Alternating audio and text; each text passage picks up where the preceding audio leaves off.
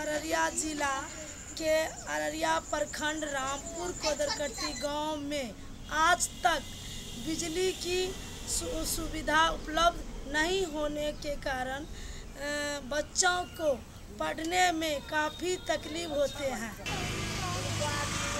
बिजली है? खंभा गड़ा हुआ है मगर तार नहीं लगा हुआ बिजली भी नहीं। जिस पढ़ाई कैसे करते हो? स्कूल से आते हैं। वहाँ से सीधा पढ़ने बैठते रात में?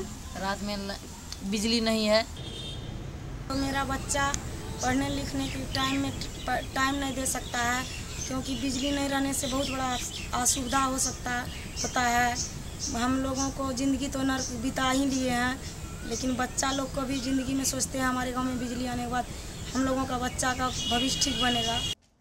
तुम क्या चाहते हो? हम चाहते हैं कि जल्दी जल्दी से बिजली आ जाए उसके बाद हमको कोई टेंशन नहीं।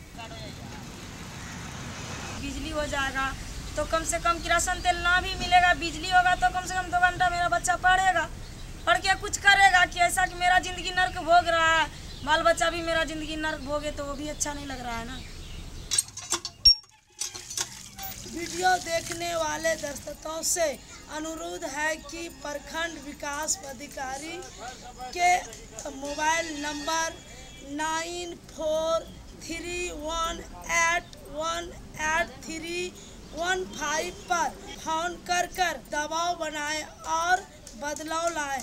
मैं मांडवी अररिया से इंडिया अनहट के लिए।